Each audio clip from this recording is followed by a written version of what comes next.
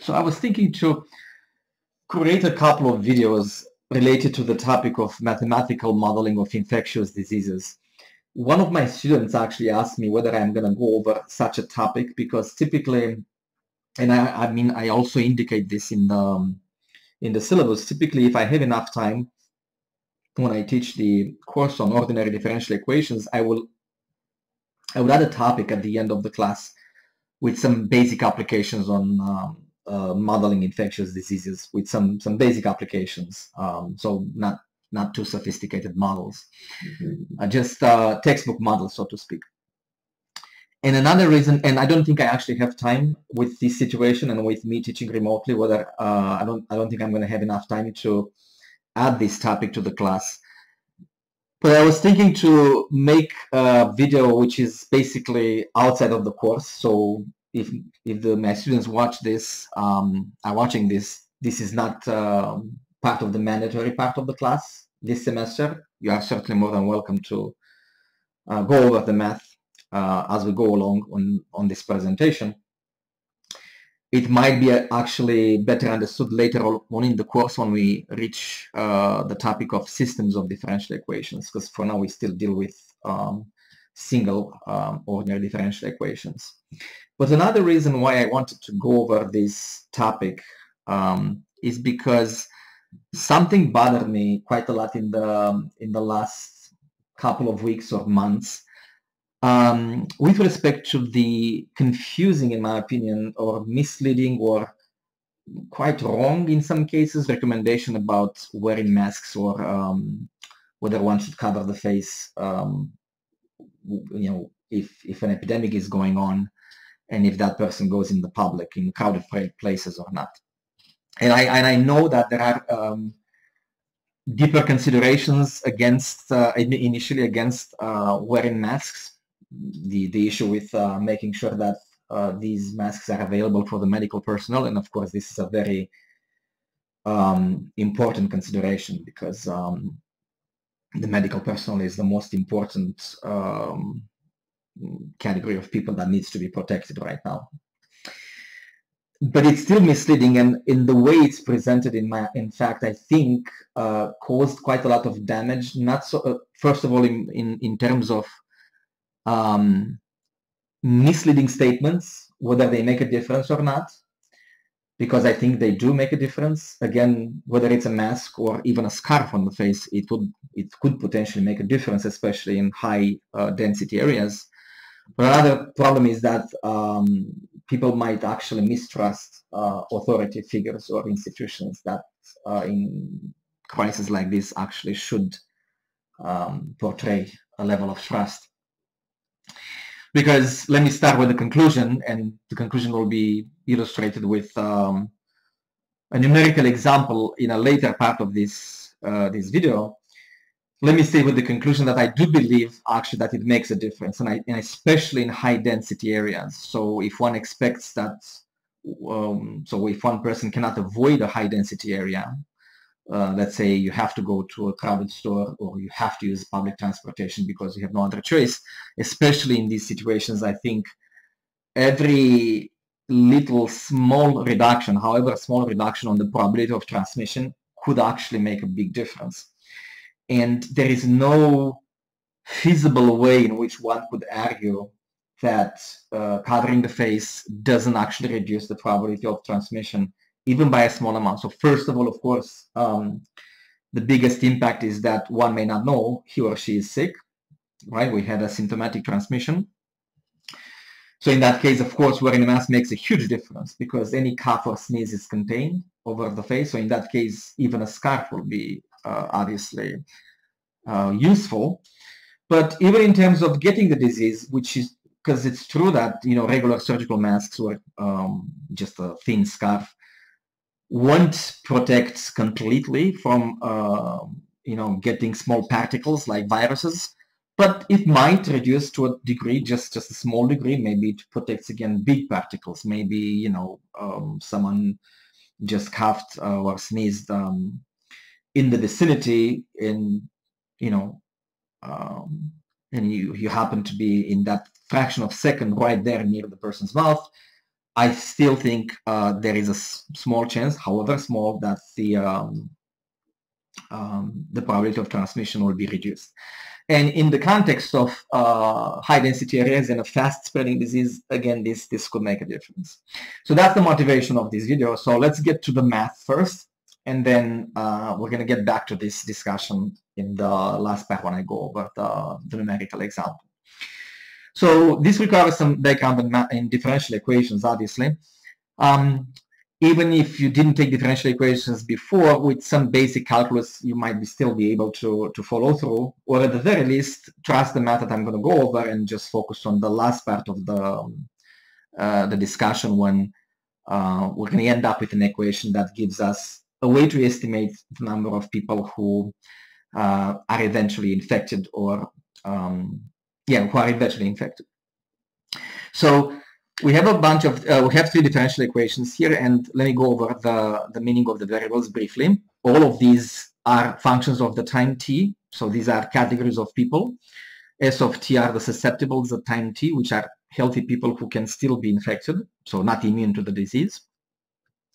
Uh, I of t are the infected of people at time t, and R of t are recovered at time t. And for now, let's assume that there is no reinfection, so that we run this model just for one instance of the epidemic when um, um, run its, when the epidemic runs its course and then um, people are not reinfected uh, within this time frame.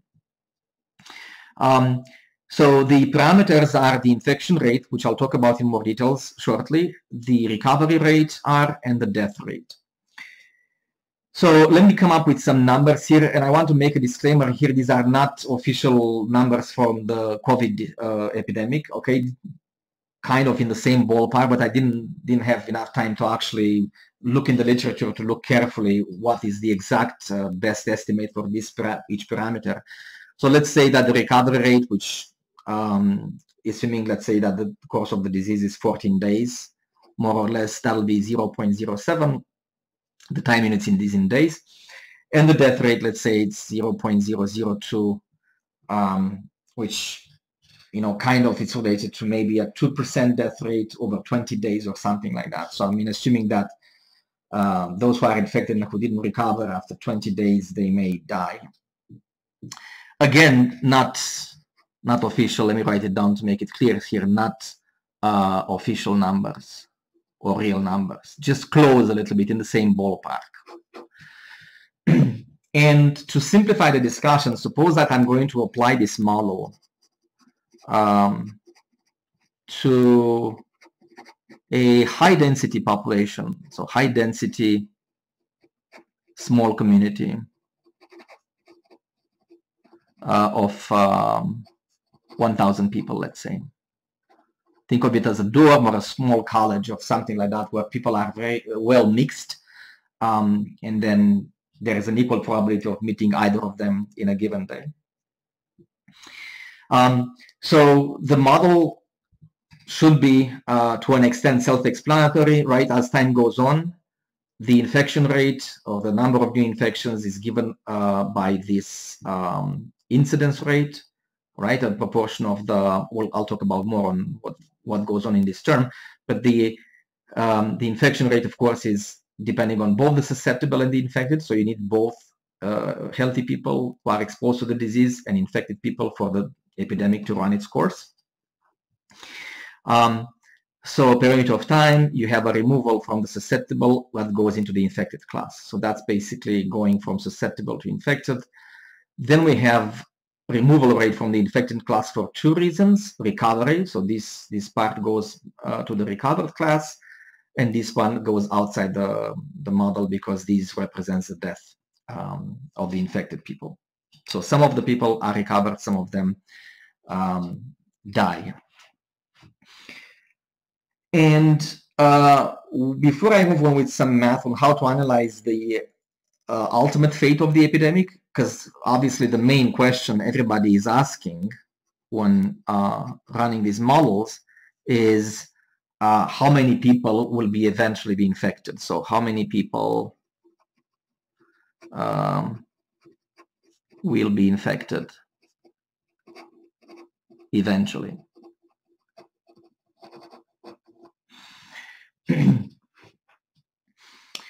and one thing to notice here, and we could do this with some basic intuitive mathematical analysis, is that eventually, of course, I of t goes to zero. So eventually the epidemic runs its course, runs its course, and there won't be any new cases. And let, let me illustrate mathematically why that's the case. But eventually, let's keep that in mind, if we take the limit as t goes to infinity of the infected class, this is going to be equal to zero.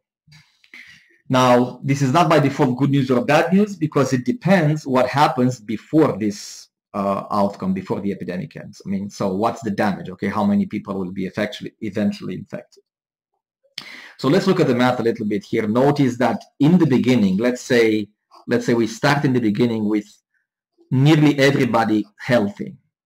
So we have the so-called patient zero, right? So we start with one um, infected individual um, out of those 1,000 people. So in the beginning, the uh, epidemic will grow very fast because the um, infected individual will meet only healthy people. So the probability of meeting healthy people is very high and it continues to be high as long as you have enough susceptible in the population. So imagine in the beginning that this portion here, this term is really big and this one not so much because again there are not many infected in the beginning so there's not much removal from the, from the infected class. So this is why in the beginning um, you, you see policymakers talking about this, this curve increasing exponentially very quickly in the beginning. However, as the susceptible number uh, decreases, so as you run out of healthy people, then this term continues to will start to decrease. But notice that the removal rate is the same. So there will be always a fixed number or a fixed rate of recovery and a fixed death rate. So as this term, as the source for the infected people continues to decrease, um, the removal rate stays the same. So eventually the removal rate overcomes or it's much bigger than the input, than the source of the new infection. And so after some more time, then eventually I goes to zero. Now, in the moment when I is equal to zero, so when you reach this, this limit for the infected people, there's no more movement in the S and R class. So you know from math that when S prime is equal to zero and R prime is equal to zero, then the dynamics uh, stops. In other words, S of t, R of t, neither increases nor decreases. So then the question is, what is the final size of S and R? So notice that the smaller the size, or let's put it this way, the bigger the size of R is, the more people were infected. That because each each recovered individual was one who was infected beforehand. So basically, a good outcome is a small r uh, and a big S final value.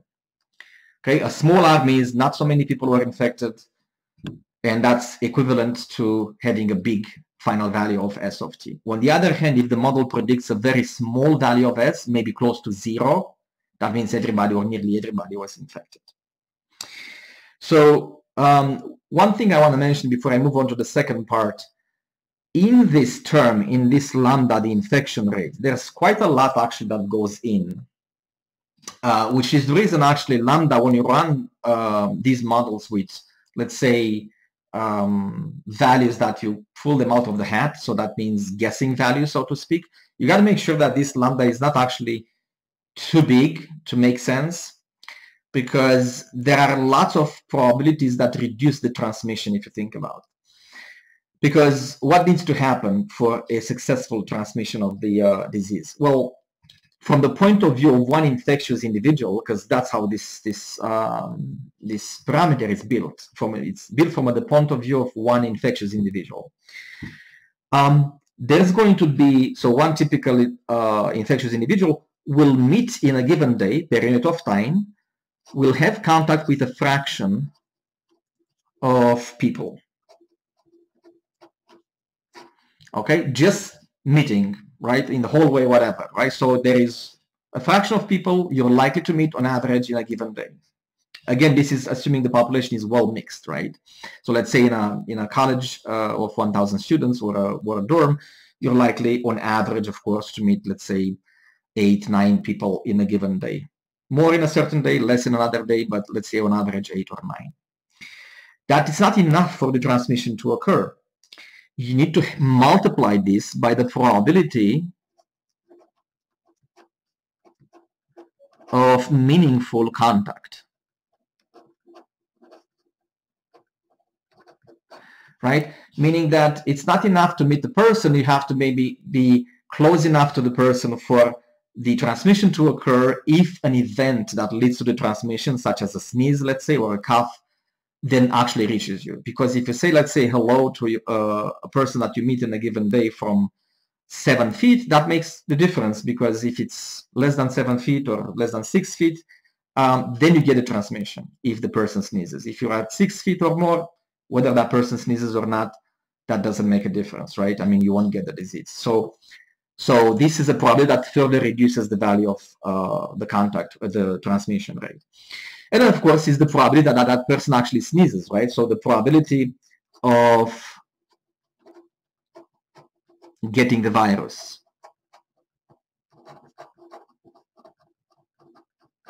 So I'm going to run the model or I'm going to run the example with this. I'm going to illustrate various factors into lambda that further reduce the, uh, the value of lambda. Okay, so again, think of it as average number of people or a fraction of people you meet in a given day, um, how likely you are um, for each this, of these individuals to actually be in close enough contact, meaningful contact the, from the point of view of the disease, and how and uh, further multiply by the probability of getting the virus, which you can think of it as um, uh, that person basically uh, being close to um, close enough um, that if you sneeze, uh, you actually um, get, you know, give the virus to that person. Actually, this is from the point of view of the infected person. So this will be basically the probability that you actually sneeze or cough or whatever the event uh, should be that will um, infect the other person. So on the second part of the video, let's go over a little bit of math on how to actually um, come up with some estimation of or an equation that gives us the final size of the epidemic, the final size of S and R.